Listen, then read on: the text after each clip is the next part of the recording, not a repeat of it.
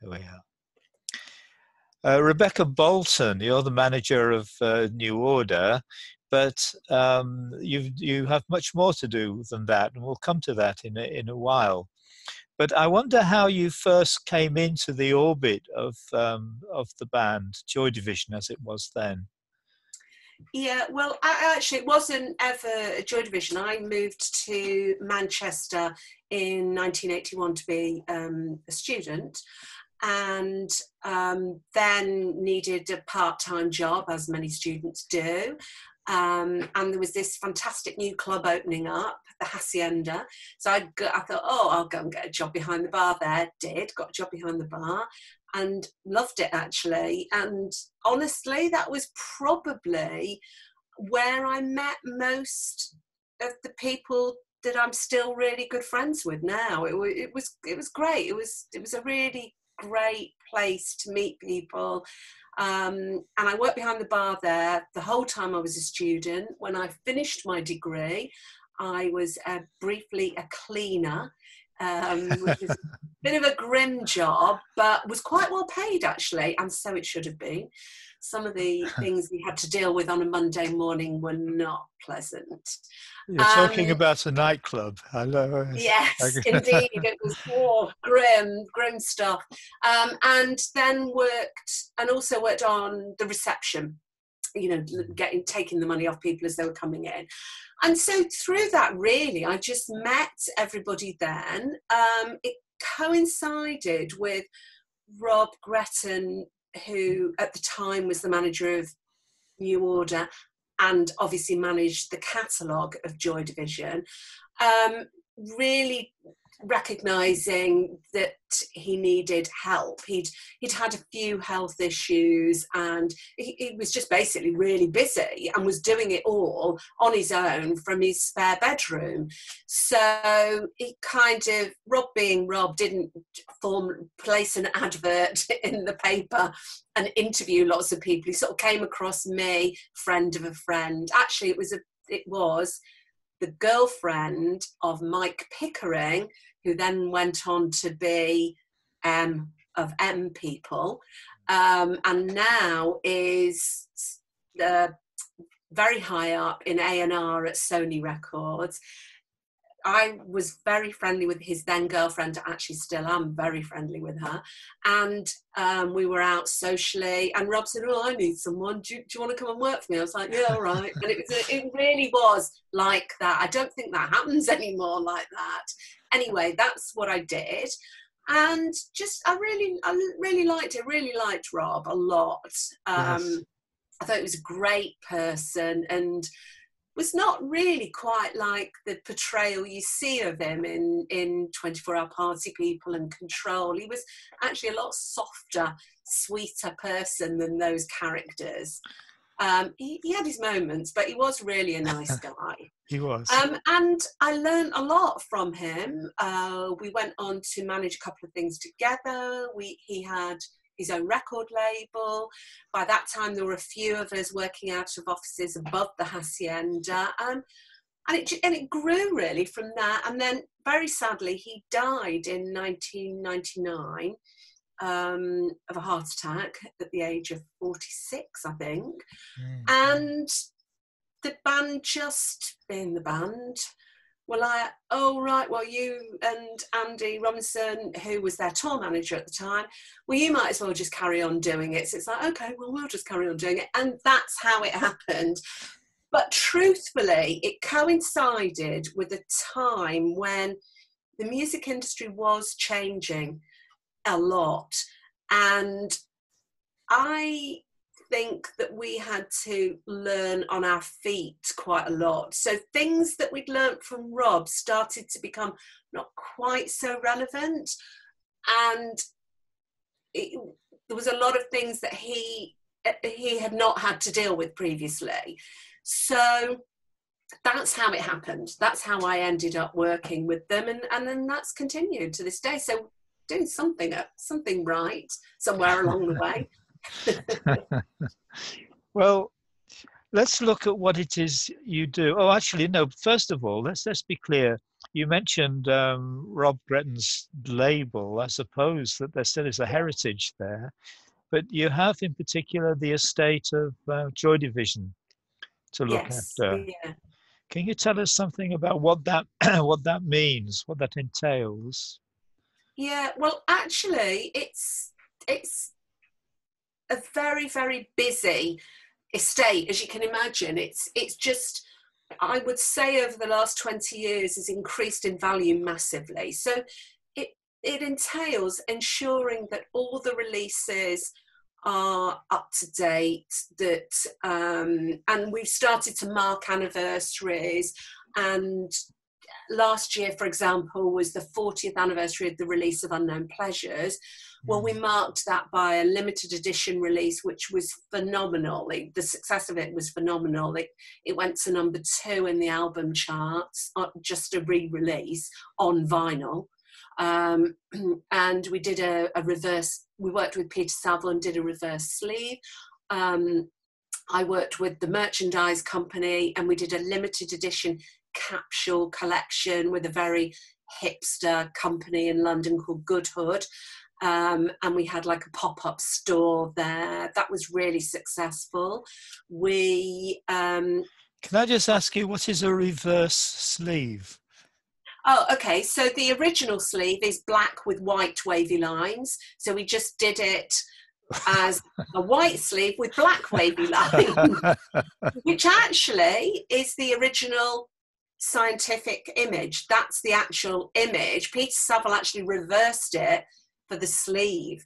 So the original um, image, which was found by Bernard um, in the Central Library um, in an American scientific journal, um, was white with black wavy lines on it. So that was the limited edition release. Then the thing that I was particularly proud of, we did we projected unknown pleasures Im- image onto the town hall in Manchester. We projected it onto another building, um, like a very tall skyscraper building in Manchester, um, on the actual release date, which happened to be on a Saturday. So it was great, really. So we did it on a Saturday night, and we had somebody record it, and and there was there's a few pictures of people walking around going, "What what's that? you know, quite quite surprised. We just did it as a sort of guerrilla kind of thing. And to be, you know, it cost quite a lot to do, but the imagery from it was great and it was just a really really nice marker the other thing we did around that campaign was we i felt strongly that we needed to raise some money for charity uh, for mental health charities. So we did a giveaway in Manchester City Centre on the actual anniversary, which again, obviously on the Saturday, and we made 2,000 t-shirts um, limited edition t-shirts in conjunction with calm which is the mental health uh, it's the, the, male suicide uh, charity preventing male suicide and uh, debbie curtis felt feels very strongly about homelessness. So she wanted to donate to a homeless charity also, which of course has a lot of links with mental health. So we joined up with both charities and just and gave away these t-shirts and asked people to donate to those charities. It, you know, if you if you were lucky enough to get one of these t-shirts during the day, then we we ask that you donate something to the charities. So that that was great. Um, obviously a lot of press attention around it. So that, I mean, that is just one bit of it, obviously. Um, so you have going thing. so you have new order to manage. You have the estate. Uh, yeah. You have, um, I suppose, the estate of Ian Curtis, which yeah. is, is yeah. slightly separate. Um, oh, and uh, doesn't uh, didn't Bernard have a little project Oh, he, ele- electronic. Electronic, yeah. Electronic. He he released um he released record he recorded um record uh, music with Johnny Marr, and actually they had three albums out. So that and that was very successful actually.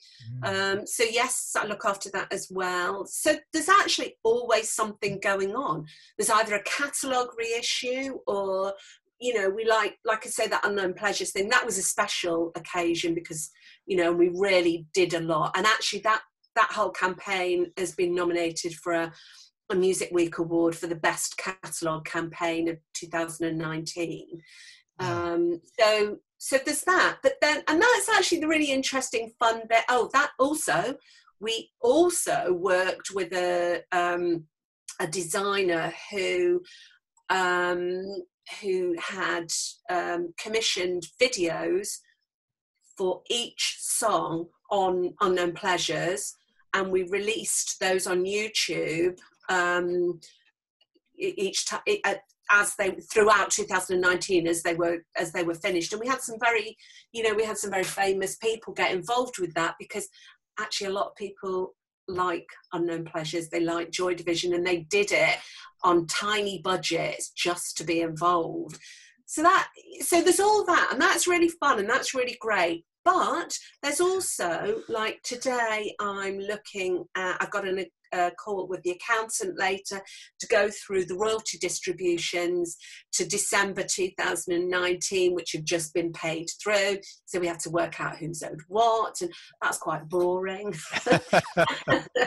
so, and then I've got later on some some analysis of publishing statements. So there's that kind of thing as well. So there's always something always something to do. And I have to say, during this kind of lockdown period, I am finally getting on top of all those jobs, boring jobs that I keep thinking, I'll do those one day. Well, that day has come and I'm doing them.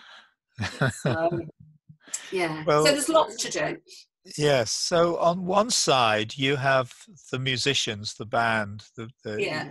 of, of uh, on one side, and on the other side, you have record companies, uh, video artists, um, uh, you have the live uh, publishers, all the, yes, all of that, and then you in the middle have a little support team, I suppose you could say, of an accountant, a solicitor. Yeah. Oh, yeah. Very. Uh, Sadly, he he has become very important over the last few years because we've had some you know i mean it's it's no secret there's quite it, there's issues between the original members of joy division and new order. One of the band members left in 2007 and that's been quite difficult legally. So yeah I, i've got a lawyer that i talk to quite a lot actually. Okay. He's great. Uh, we get on very well. So you're sort of part of this central you're the, the, the, the top end, the brains of this central spine. On, yeah. one, on one side, the band, on the other side, the music yeah. industry, the music world. Yeah. And um, I suppose you can't, you can uh, bring some order, uh, new order, bring some order into predicting um, anniversaries and that sort of thing. Yeah. But you can't avoid the, the, the surprise of a phone call for somebody um, uh, wanting to do a project like the video maker and and so on. So it's uh, so every day must be some sort of there must be some sort of new experience that you have to deal with. Yeah, I think that's uh, yeah, I think that's right. I mean, it's it's structured. You know, there's on the one hand, it's very structured. So, for example, you are always accounted to by the record company and the publishers half yearly. Actually, our publishers have just introduced quarterly accounting. Um, so there's that structure in place, and that, and actually, it's almost and VAT quarters sounds really boring, but a VAT quarter kind of marks the year, you know, in, yes. in stages. So there's always a structure that you're working around. I have to say the structure, it does tend to be accounting. Um, but then also there's, you know, the other side of it, we talked a bit about catalogue. So obviously there's catalogue of Joy Division, there's the catalogue of New Order. So there's New Order projects that um, up to and including Peter Hook leaving. Um, and then there's new New Order. And for that, you know, there's, there's new music, there's touring, and that's very busy and there's a structure there almost. We've got a we've got quite a large road crew um, who we work closely with, and we really get on with, and it's very much a a, a family, if you like. Um, and when you're building up to touring, there's a structure in place. You have to do this, you have to mark off the things building right up to leaving, and then we go. Um, and then there's there's a bit of a pattern to those days as well.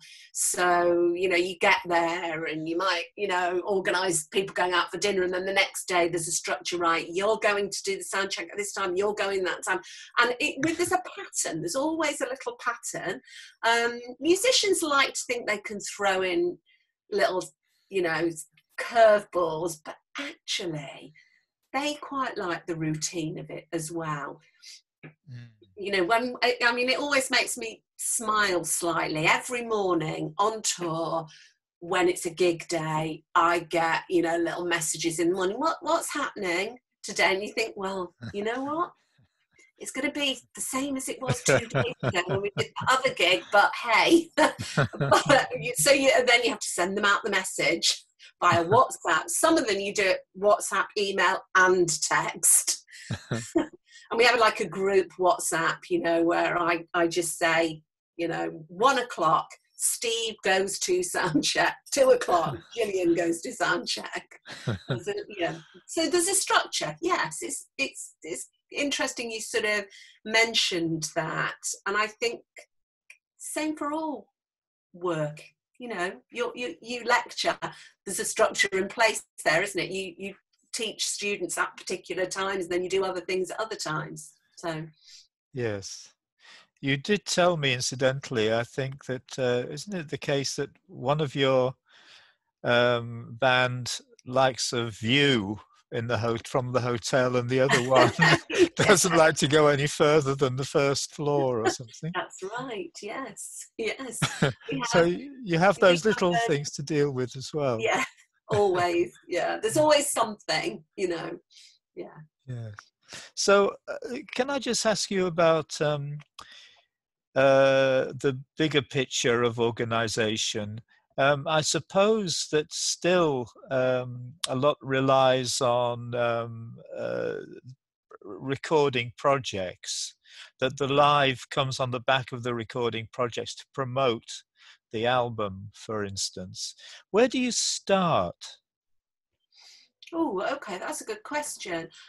I mean, just to qualify that slightly, a hmm. band like New Order are in a bit of a privileged position um, because obviously they built up um, a career over decades and can they can actually continue touring as do quite a few bands touring without releasing any new music whatsoever. I mean, I think a really good example is The Cure.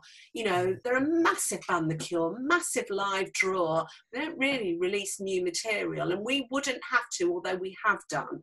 Um, so I think it would start with one or two of the bands saying, yeah, probably getting a bit fed up of the touring cycle and mm. thinking, yeah, I've got some ideas for some music. Um, I always laugh about Bernard's ideas that he always he has little notes, musical notes all over the place, and I get asked by the publishers quite a lot if he's got anything. And I, I always sort of have this image of him having a cupboard of ideas that he can just pull out and needs needs a bit of a sort out, like you know, like probably most people are doing at the moment, sorting out their um, their wardrobes because they've got nothing else to do. um, well, I was told that Enrico Morricone, the film composer, um, does lots of um, has got some pre-prepared tapes and um, directors would go to him and they say, "Well, I'm thinking for this film a very soft kind of music," and so ah, you want tape 94, 94D, and he would get it out and play.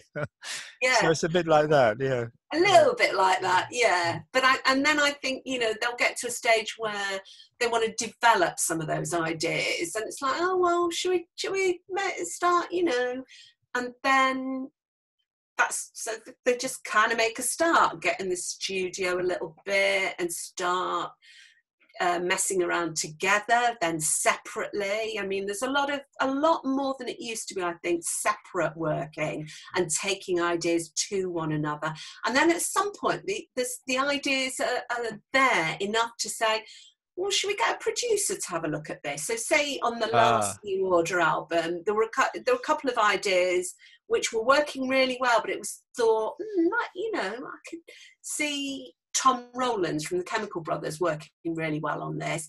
And he came in and added some really wacky little touches as a producer. And it was, you know, and it was good. It worked really well. And then the ideas develop, they turn more into songs. And then you've got, it sort of builds up like that. And then by that stage, you've got maybe 10. So at that point, right, okay, this needs properly recording, gets properly recorded. And then um, mixed you know, and generally they'll go to somebody else to mix um, mm. just to get a bit of a fresh perspective. Sorry, inserted into that bit would probably be on the last album, which was released on mute. Um, Daniel Miller got quite involved and had some really great ideas, and was just he's he's just a great great person. You know, he's he's just positive all the time but at the same time can steer if he's not quite sure about something he'll steer it round. Um, he's he is great. That was one of the best moves we've made in a long time. Just feeling like it was separate from everything we'd done before and it felt really like this was new new order a completely new setup a new record company and we and actually we maintained a great relationship with warners. They and they were really understanding about it. They got it. They were fine about it. So it, it was great actually and uh, inspiring guy to work with i have to say. And i think even the band who you know you get to when you've had that many hit records as they've had pretty hard for someone else to come in and tell them they don't think their ideas are going to work or that they might want to try something else. So that's quite a hard thing to do. But Daniel obviously had the gravitas to be able to do that. So, yeah. So then it's mixed, and then you kind of got to a stage where it's like, well, we've got enough songs now, really. And that's that's it. It just kind of evolves. But there's a seasonal element to it, isn't there? There's a structure to yes. getting it promoted, getting it out through the windows, yes. and uh, yeah. all of that. And then the live. Ele- well, yeah. no, no, you've covered the live element. Um, well, live, but, uh, you would want you would want probably to be able. I mean, it's a actually what we have really found in the last, I would say, three to four years, even even in the last two years, actually things are getting booked so far in advance, i.e., venues, festivals, um, that you you are booking your venues can be up to two years in advance. Yes. You know, so you kind of got to have a bit of a structure in place. And some of the band really like to have a deadline for finishing the album they break the deadline, of course, but they like the idea of having the deadline because it actually gives them something to. I get that, you know, it gives you something to work towards. You don't always make the deadline, but it mm. gives you that, you know, I, idea that you might make the deadline.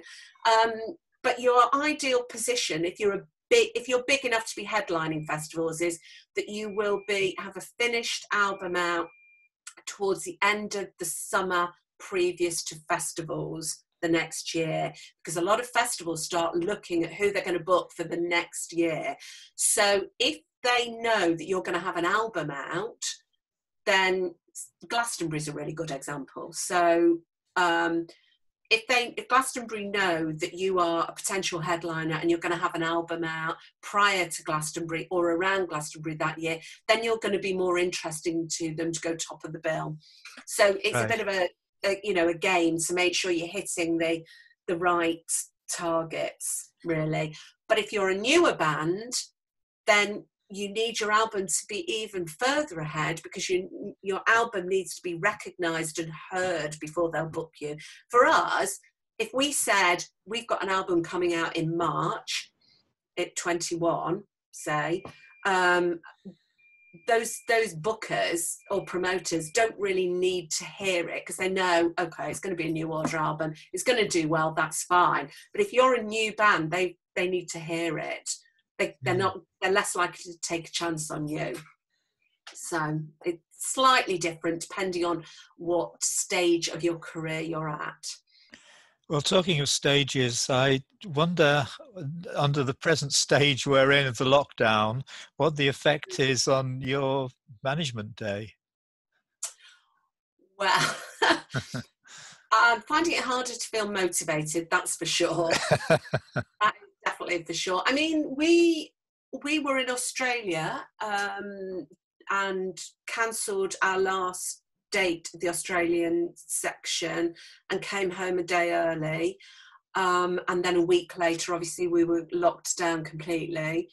Um, we, for us, luckily, we had no plans to tour this summer until September when we, uh, and it's on sale, still on sale. Um, we have got dates with the Pet Shop Boys as a co headlining tour in America during September. Quite a big tour for us, um, and obviously it's a, quite a big financial uh, tour for Live Nation. Live Nation have bought the tour as a package. Um, it's gone phenomenally well. We we sold out the Hollywood Bowl quite quickly, and they added a second Hollywood Bowl. They were about to add a second Madison Square Gardens, but didn't put it on sale as we locked down, so that oh. now won't go on sale. Um, whether or not we will be going in September is who knows. I, I really couldn't tell you at this today. I can't tell you whether we'll be there or not. But obviously, what I would have been doing at this stage is starting preparation. So, for example, I spoke last week to our lighting designer who has started his conversations with the Pet Shop Boys lighting designer, and you know we're talking about the the stage set. They have a they're a little bit more theatrical, shall we say, than ours. Um, they need it more than you do. Possibly, yes, possibly. I don't know. Yeah. Um, so that's kind of on hold. The planning for that has to be on hold because I won't spend any money on it until I know it's definitely going ahead. Mm. Um, so that slowed things down a little bit. Um, I'd always planned this period to get a little bit more on top of my admin, so I am doing that. Um, but I've got, but I don't know if you can see behind me, but I've got boxes of stuff that I've got to go in filing to go into storage uh, merchandise samples that go into storage, but of course can't go to the storage unit to take them. I've got two uh. massive bags full of shredding that I can't take to the shredders. So my office is starting to feel a little bit claustrophobic actually. um, but I am, you know, uh, for me personally, it's better for me to have a routine. I'm better knowing that I've got a routine. I work from home anyway, um, so it's fine. I just get up. To be honest, I'm just getting up a little bit later, um, hmm. and being a bit and and making sure that I walk the dog during the day, which I wouldn't normally do. So, yeah. Okay. Can I ask you um, before we close about the the permissions side of things, mm. um, uh, syncing and all of that? Mm. I think I heard um, last night uh, a preview of um, Ordinary People, which I think is on BBC One tonight. And I thought yeah, I, I heard Normal People. Normal. People. Normal People. Sorry. Yeah. Yeah. Yeah, it's a, a great book. I, re- I read it last year and loved it, so I was quite excited to see that it was going to be on TV. Yeah, um, yes, I think we've got uh, we have got uh, Love Will Tear Us Apart in that. Yes. Um, yeah. Uh, well, well, how actually, does that work? How does it? How... I I'm really uh, this it's definitely one side of the industry that I'm personally quite interested in and I do quite a lot of work on. Um, I work really carefully with our publishers. Publishers are the key to sync licensing, really, because um, they, for us anyway, for New Order and Joy Division, we work with Universal Music Publishing, um, who are the, probably the biggest. Um, and I've got really good, strong relationships with their sync team, particularly. Um, and So what tends to happen, it can happen in a variety of ways, but say for something like that, that that director will have had a very strong idea of what they wanted musically and they would have just requested it and the request would have come in it would have come it always has to come through to me um, and I will look at it and approve it or not approve it. I mean, something like that is a bit of a yeah, fine, that's that's fine. It's a, obviously a, a, good cultural, creative reference for us, no problem. Um, TV things that tends to be okay. Film generally that tends to be okay. Obviously, interestingly, we had um, a massive success December January time the trailer for Wonder Woman 84 went online.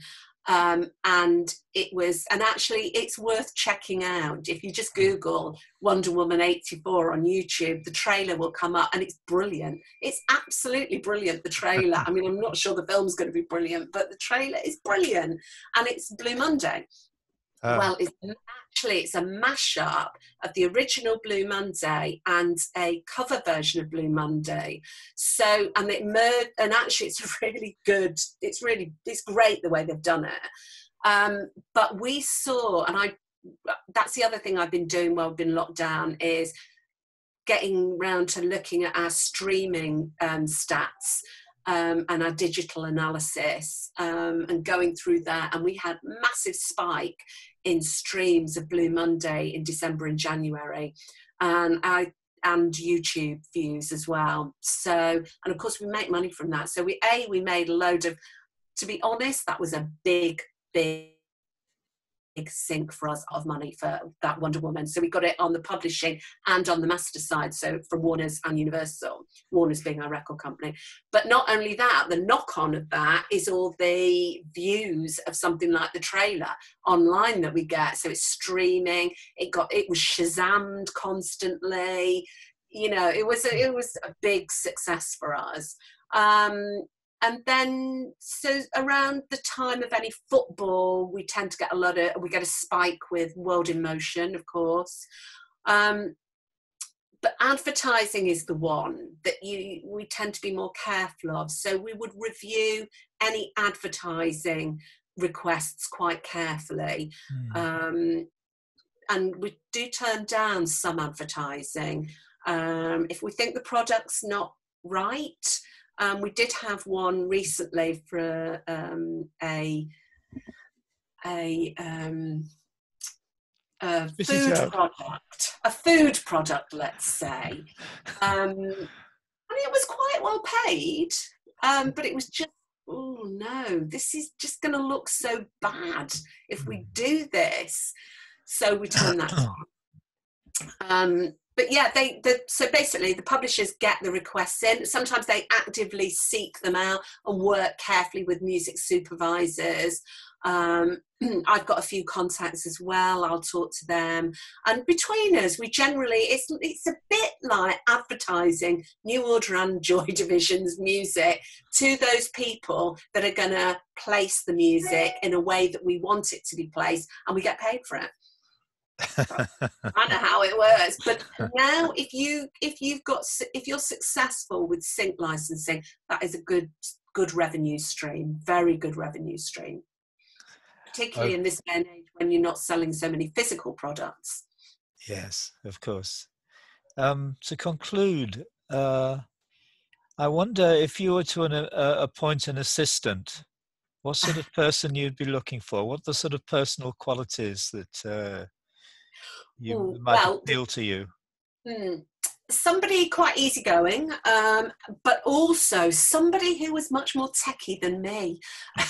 that would be the main priority. Uh, who could things that I do that just take me a while to get going on, they could just do it like that, and had a real interest in um, streaming and digital. Um, I mean, I, you know, I do keep up. You have to. You absolutely have to. And someone with a very, uh, with a lot of attention to detail, because nowadays, again, and, and actually going right back to the beginning of when we started talking, thinking about Rob Gretton, he, obviously he had a lot of attention to detail on certain things, but the things that you have to have attention to detail on now are not things that he ever had to think about. And that's to do with revenue streams. So back in the day, Rob would have thought about a publishing con- a publishing deal, a recording deal, and live income. That was it. Three income streams. Now you've got to be looking at, where you get, you know, all the um, collection societies around the world, um, the merchandising, the streaming, the digital, you know, all of that sync licensing. There's so many revenue streams now that we have to really look for. And he didn't really back in the day. I mean, he had his other, there were other issues, obviously, but, um, but yeah, it's, it, so you've got to have great attention to detail and be interested, just be interested. Thank you. Well, Rebecca, that's been a wonderful uh, account of uh, of your work and uh, your aspirations and so on. Um, well, it's sometimes just to, to, sort of to think about. Oh, yes, actually, I do have to do that. Oh, yeah, that's what I do. it's helpful to me occasionally. So, well, in yeah. summary, you bring order into new order. Yes. Thank you. Thank you so much. All Bye. Right.